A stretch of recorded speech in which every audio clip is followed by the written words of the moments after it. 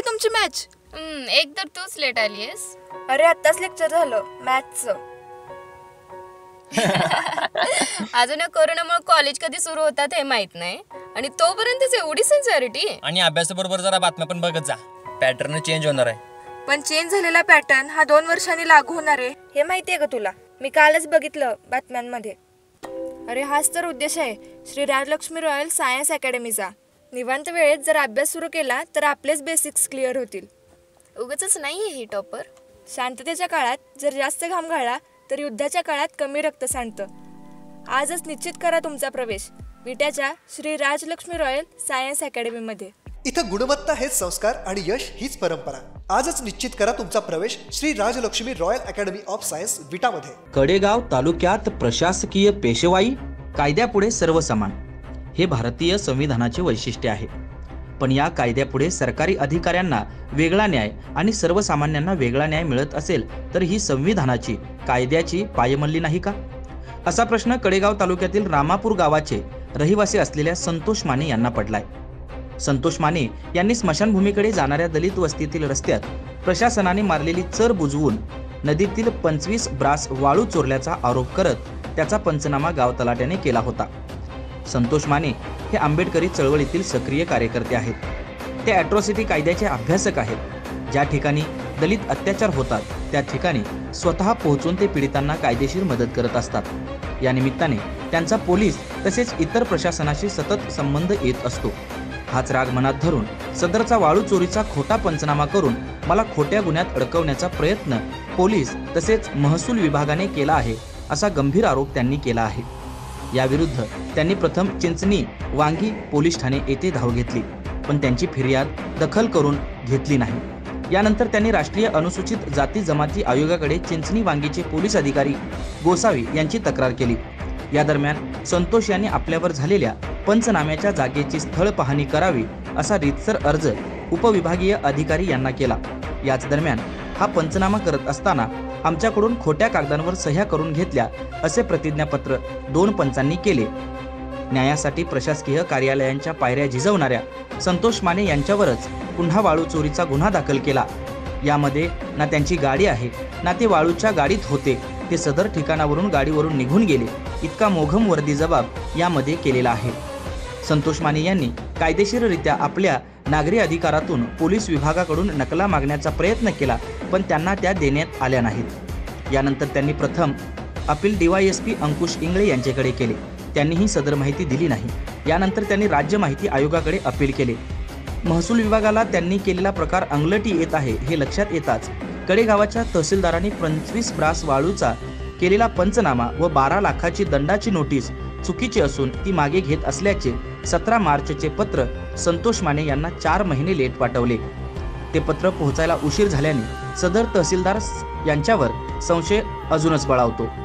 महसूल विभागाच्या या कारभाराचा पंचनामा उपविभागीय अधिकारी गणेश मरकड यांच्या स्थळ पाहणी अहवालानंतर चव्हाट्यावर आला.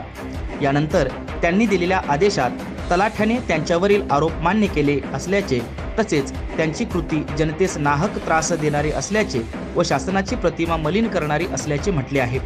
यावरून त्यांनी संबंधित तलाठी यांची दोन वेतनवाढ देखील रोखली आहे. संतोष माने यांच्या तक्रारीत तथ्य असल्याचा हा शासकीय पुरावा असूनही संबंधितावर गुन्हा दाखल केला जात नाहीये. तलाठी हे काम वरिष्ठाच्या आदेशाशिवाय करूच शकत नाहीत त्यामुळे एका अनुसूचित जातीच्या व्यक्तीला खोट्या गुन्ह्यात अडकवण्यासाठी तहसीलदार यांनी पोलीस विभागाला सोबत घेऊन हे कृत्य केले आहे असा आरोप करत संतोष माने हे तहसीलदारांच्या वरती अॅट्रॉसिटी अंतर्गत गुन्हा नोंद करावा अशी फिर्याद दाखल करून घ्यावी यासाठी पोलीस स्टेशनच्या पायऱ्या झिजवत आहेत. याबाबत डीवायएसपी अंकुश इंगळे यांना विचारले असता ते म्हणाले तिथे जे प्रभारी अधिकारी आहेत तेच कारवाई करतील माझा संबंध येत नाही. तर चिंचणी वांगीचे एपीआय संतोष माने यांनी वरिष्ठांच्या आदेशाप्रमाणे कारवाई करू असे वज्रधारीशी बोलताना सांगितले. वरिष्ठ अधिकाऱ्यांनी छोट्या माशाला गळाला लावत पुन्हा कातडी बचावचे धोरण अवलंबले आहे. यामध्ये दोषी असणाऱ्या सर्व अधिकाऱ्यांवर कारवाई करेपर्यंत संघर्ष करणार असल्याचा निर्धार संतोष माने यांनी केला आहे. नमस्कार मी संतोष आनंदा माने मुक्काम पोस्ट रामापूर तालुका कडेगाव जिल्हा सांगली. मी आंबेडकर चळवळीचा एक सामाजिक कार्यकर्ता आहे. गेले दहा वर्ष झालं मी आंबेडकर चळवळीमध्ये लोकांना अन्याय अत्याचाराच्या बाबतीत अनेक घटना घडल्यानंतर मी सातत्याने त्या ठिकाणी जाऊन त्या लोकांची विचारपूस करून कोणत्या कोणत्या प्रशासनाकडे त्यांची कामं आहेत त्या ठिकाणी मी स्वतः जाऊन ते कामं करून घेतो. किंवा ॲट्रॉसिटीच्या केसेसमध्ये स्वतः लोकांना मदत करण्यासाठी मी सातत्यानं प्रयत्न करत असतो. त्यामुळे माझ्यावरती प्रशासन चिडून आहे. आणि या चिडून असल्याच्या रागापोटी गावातले सरपंच डेपुटी सरपंच तलाठी व कडेगावच्या तहसीलदार शैलेजा पाटील यांनी माझा वाळूचा खोटा पंचनामा माझ्या नावे केला. मी कोणत्याही प्रकारची वाळूचं उत्खलन केलं नसताना मला साडेबारा लाख रुपयाचा दंड आकारणी केला.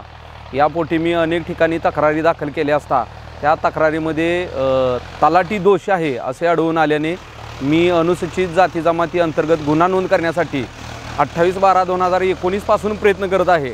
आज अखेरपर्यंत गुन्हा दाखल करून घ्यायला प्रशासन टाळाटाळ करत आहे. चिंचणीवांगीचे य- A P I Santosh Gosave यांनी अठ्ठावीस बारा दोन हजार एकोणीस रोजी मी तक्रार दिल्या देण्यासाठी गेल्या असता. माझी तक्रारच नोंद करून घेतली नाही उलट मला हाकलून काढलं. परंतु माननीय प्रांतसाहेबांनी ज्या ठिकाणी वाळूचा पंचनामा केलेला आहे तो खोटा आहे असे ठरवलेलं आहे. आणि तलाट्याला विभागीय चौकशीमध्ये दोषी ठरवलेला आहे. काल एकोणीस अकरा दोन हजार वीस रोजी मी व माझ्याबरोबर पश्चिम महाराष्ट्राचे विद्यार्थी आघाडीचे अध्यक्ष बोधिसत्व माने आर पी आयचे नूतन जिल्हाध्यक्ष राजेश तिरमारे व शिष्टमंडळ आम्ही चिंचणी वांगी पोलीस स्टेशनला ए पी आय गोसावी यांना गुन्हा दाखल करण्यासाठी गेलो असता. ए पी आय गोसावी यांनी गुन्हा दाखल करून घेतला नाही. उलट त्यांनी सांगितलं की फक्त मला डी वाय एस पीने सांगितलं आहे की तलाट्यावरती गुन्हा दाखल कर. इतर कोणाही दाखल करू नको. असं त्यांनी सांगितलं की वारंवार माझी टाळाटाळ व मला फसवणूक केली जाते माझा गुन्हा नोंद करून घेतला जात नाही. तरी मला योग्य तो न्याय मिळावा व जे कोई काही दोषी अधिकारी आहेत त्या अधिकाऱ्यांना वाचवण्याचा प्रयत्न करत आहेत त्यांच्यावरती अनुसूचित जाती जमाती दोन हजार पंधरानुसार ह्यांच्यावरही योग्य कारवाई व्हावी. शिलाई मशीनचं सर्व साहित्य मिळण्याचं माहेरघर श्री शिलाई मशीन. आमच्याकडे डर्बी स्वागत सिंगर अमरेला आदी नामवंत कंपन्याच्या शिलाई मशीन्सची विक्री व दुरुस्ती तसेच फॉल अस्तर गुंडी मायक्रोम कुंदन बॅच उलण लटकन लेस आदी मटेरियल एकाच ठिकाणी मिळणारं एकमेव ठिकाण श्री शिलाई मशीन. आमचा पत्ता एस टी स्टँड पाठीमागे श्रेयशी लेडी शॉपी विजया मेडिकलजवळ विटा. आजच भेट द्या.